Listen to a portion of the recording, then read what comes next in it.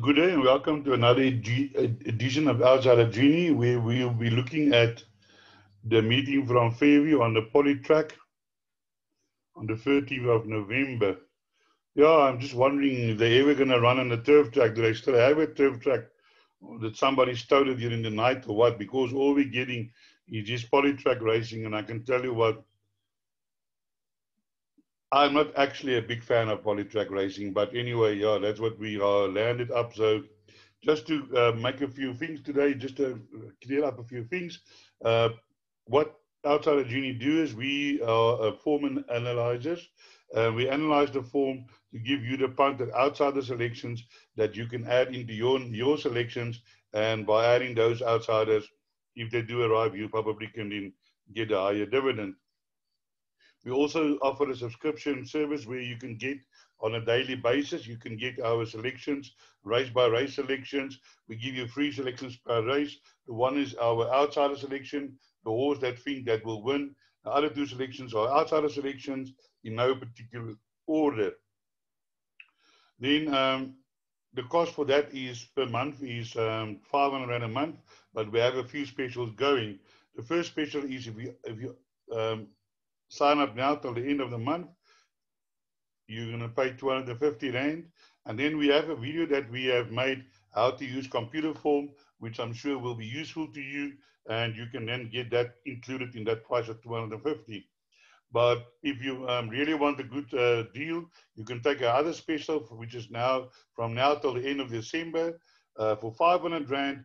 And you can also get both videos um, that the one is how to read a Computaform, and the other one is how to punt to win and get outsiders, finding outsiders using Computaform. And both of those will be included in the price of 500 Rand. Should you not wish to subscribe, you can still buy them. Um, uh, each video is 100 Rand. If you take both, 175 Rand for both. So let's move on to the first race at Fairview. And let's have a look at a betting, which is a maiden plate uh, over a thousand meters on the Polytrack. Here the favorite is Forest of Green, even money, Dairy 5 to 1, Forbidden Affair 6 to 1, In the Flesh 6 to 1, 92, Easton Bliss, Denim and Jeans 14 to 1, Shasuka 16 to 1, 20 to 1 and longer the rest. Yes, here our first selection, number three, Forest of Green, uh, did run a very nice race last time out, was just run out of uh, late by Danalu, and behind him, uh, one and a half rings behind was number four, Dairy, and I do think that those two horses will fight out the finish again. Other outside outsiders with chances, you can look at number six, six Shashuska, getting the minus four, so that will make a difference. Has been running there and thereabouts. Last time out did fight, um, but I'm sure there's always getting fitter and might be uh, staying on in this race. Then number eight, Denim and Jeans, also don't, didn't run too bad the race. Um, ran 22.9, which is uh, second fastest. And even the race before that, when it was still in Turfontein, also ran on 22.2. So the horse is running on. And um, I do feel that Denim and Jeans are in uh, with a chance making the places. Can win. Uh, it doesn't say can't win. Um, nothing is impossible in racing, but I definitely a horse to include into your uh, play. In the other horses that you can, other horses that you can include in the flesh also ran a, wise, uh, a nice race last time. Lyle Hewitson in, in, in, the saddle, also in with a chance. So is 10 isn't blessed. Did run two nice races, but last time out also faded a little bit at the end. Then, um, yeah, Great Thunder did run a nice race uh, uh in his first run here, but since then has battled a little bit, but maybe a nice outsider that you can include in the back end of your quartets. Let's move on to race number two, and let's have a look at race number two, which is a 2,000 meter maiden plate. And here's the betting. Betting as follows. Number seven, Ford Winty, 18 to 10. 11 to 2, Godfrey Palace, Global Canyon, 9 to 2, 13 to 2, Shades of Blue, Just Sonic, 13 to 2, 9 to 1, Imperious Duke, 10 to 1 Bill and 25 to 1 and longer. Yes, um, Gavin Smith looking to open the card of the first two races. Here he's got number seven, Eliodor, uh, who liked, who ran a good race last time out. He's getting the minus four, therefore he's carrying only 53. And I think that's a handy way to carry. And Fort Windley might be hard to beat in this race. Outsider selections, number four, Imperious Duke, coming from um, Natal, uh, has in shape, um, has a strong dam line, but is battling, was battling in the bigger centers first in Turfontein and then in, in Natal, now find itself here in PE and might and might improve, including audio play, Gavin Smith, Michael van Rensburg on board. In other uh, outsider selection is number nine, which is Global Canyon. Uh, did ran an improved race last time over the longer distance, and I'm sure will go on to improve further. Will be involved with the finish.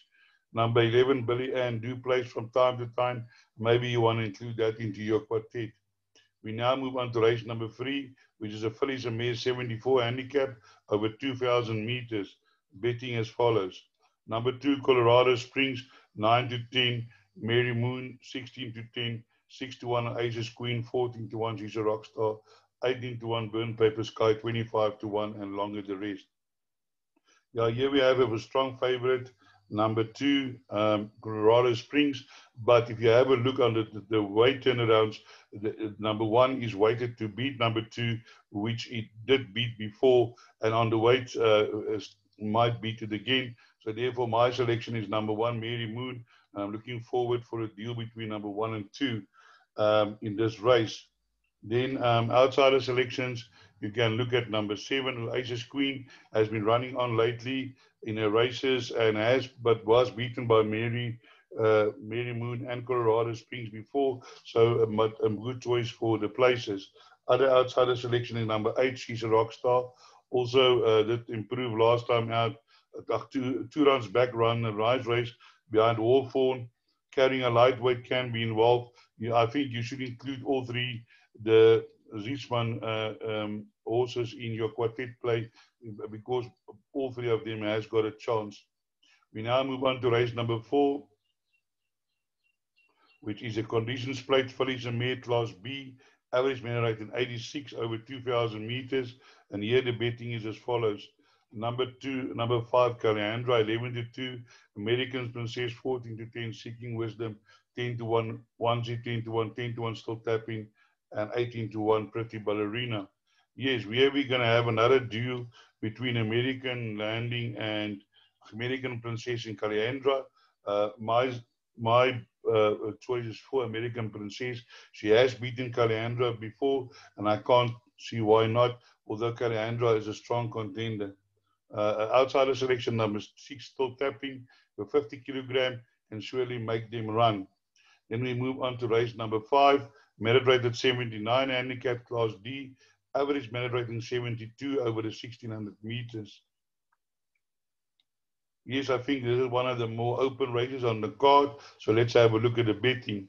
53 to 10, 92, Mio Grande, 92, Let's Blaze, Chainsaw, 92, Sao Paulo, 6 to 1, Spirit of King, Spirit of Song, 7 to 1, Wind and Tango, 8 to 1, 10 to 1, Masterful, Riga de Oro, 12 to 1, Lightning Parador, 14 to 1. Here, my first selection, race five, is number five. Uh, that is Sao Paulo. Although I'm not in the habit of tipping eight-year-old mares, this Sao Paulo has been running on well lately. Has been running there and about with the minus four. I think will definitely be involved in the in, in the finish. Outside the selections, number six, Masterful. Masterful. Um, oh, sorry, not number six. Although number six has got a chance, but I was looking at number four, Let's Blaze did one well last time out, beating Chainsaw, and that is my other outsider selection. They meet again and they can they can renew their due. And as I said, number um, six, Masterful, he always run places, and, and one of one of these days he's going to get to the front and stay in front. So Masterful also in with a chance. Also the top ones, uh, Grande and uh, uh, Norfolk Pine, definitely not without a chance. Norfolk Pine well drawn and Mio Grande drawn eight, not too bad either. They have run against each other quite a few times, beating the one, the other, uh, uh, making turns to beat each other. Winter Tango also in with a chance from draw 10, Chase John. So surely a, a betting race. Uh, maybe if you can afford it, include the field. Here we have race number six, a novice plate. Um, class D, average mean rating 65 and 1600 meters. Let's have a look at the betting. Here we have number seven, Beyond Temptation, 28 to 10. Mary Lee, 33 to 10. Find Me Unafraid, 4 to 1. Untamed Tiger, 9 to 2. Jackpot Deal, 13 to 2. 8 to 1. Falling for You. So let's have a look at the betting. Um, yes, we have some um, horses who recently won their maidens um, and Find Me Underpaid has won his maiden recently. Um, my my best my selection number seven Beyond Temptation. Uh, I hope everything goes well at the start this time. It was running in a much higher division than it's running today. Today it's a 65, was running in an 81, 73, 78, 72s. And today my best bet on the day 28 to 10 Beyond Temptation, surely in with a huge chance in this field. Then um, my outsider selection um, is number one, Falling for You. Falling for You. Um, that one is made in two runs back. And then last time I didn't run too bad beyond be, behind Let's uh, Let's Blaze. As you can see, the best weighted Beyond Temptation, Merrily, Track Queen, Untamed Falling for You. So let's move on to the next race, which is um, race number seven. Village Amir 64 handicap for Village Amir's class D average merit rating 65. And here we have the betting as follows. Number two, Gimme Ann 72, 92, Ryan Air, upper 10, 61, Silver Fountain 6 to 1, Bridesmaid Blue 7 to 1, Never Let You Go 8 to 1, Step It Up Baby 9 to 1, 10 to 1, Linda Lovelace 20 to 1, and better the race, the, the rest. Here we have a situation where we have quite a number of horses who won their maidens last time out. Gimme Ann won her maiden last time. Upper 10 won her maiden. And Ryan A won her maiden. My selection is number six, Bridesmaids Blue. Did run well behind Duchess of uh, State last time. And from draw one, one paddock, I'm sure, uh, I think uh, uh, six Bridesmaids Blue, a huge runner in this field. Outside the selection, number seven, Silver Fountain for Sharon Kotzen, Luke Ferraris riding, also ran well last time out over the 16, over the 1300 meters. I'm sure the 1400 meters will not be a problem. Has run twice over this distance with one win, but still have to win on the poly. But on the breeding shouldn't be a problem. Uh, I'm looking for Seven Silver uh, Fountain to run a very huge race today here. Never let you go. Another uh, individual who keeps on running places and wins now and then. Um, from draw 10, definitely a horse that you don't want to leave out of your calculate, calculations. This horse can surprise. Yeah, then the, you then um, you can decide on these horses that has um, you know one last time out the maiden. I'm not in the habit of you know, tipping or playing those horses, but I have had some ache on my face lately because I do find that sometimes they win and then they win straight after the maiden they win again. So um, that then that that uh, is a thing that looks to me uh, these days are happening more often. Where in the past it was very rare for a horse to win his maiden and then follow up with a second. But um, I would think upper 10 uh, uh, might be in a good space here. Was second to Colorado Springs. Colorado Springs has run again. Uh, and and is also running today on the card. So Colorado Springs has won again, so that makes that form form strong. Although Trinidad Harvey has also won. So maybe of this horses that won the maidens last time out, I think for me, Upper 10 might be the better candidate to maybe follow up straight out of the maidens. So definitely include in all your play. Then we move on to race number eight, the Funnins Mares 86 handicap, class B, average merit rating 83. Let's have a look at the betting. Here we have the betting number one, Senton Garden 13 to 10, Joyful Noise 22 to 10, traveling style 6 to 1, twin falls 8 to 1, 10 to 1, 3 5, um, and 12 to 1, Vaskera 14 to 1, and better the rest. Yes, I think here we're going to have another deal between number one, Senton Garden, and number eight, Joyful um, Noise. My selection, Joyful Noise, as Joyful Noise did beat Colorado Springs, and today is again um, is uh, two kilograms better off Uh, last time out ran second to Zenith Gardens, half a length, and on that race, race is two kilograms better off than before. So my choice number eight, Joyful Noise. But make no mistake, I think number one, Zenith Garden, also a huge runner in this race. Outside of selections, number two, Twin Falls, can definitely surprise in this party. Um, has been running against stronger, so uh, definitely also that has got a huge chance in this field. Outside of selection is number five, Viascara.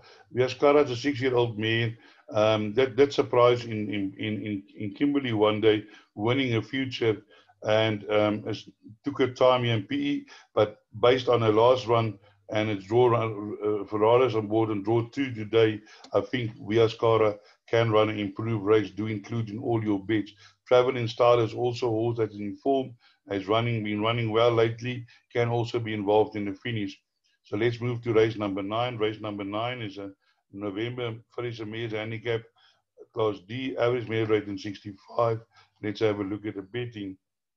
Here we have another open race, 3 to 1 the field, Proclaimer 3 to 1, Elusive Giant 92, Bushy Park 92, Beneficiary uh, 13 to 2, Elusive Diva 30 to 2, Intrepid Travel 11 to 2, Black Arena 13 to 2, 12 to 1, and longer the rest.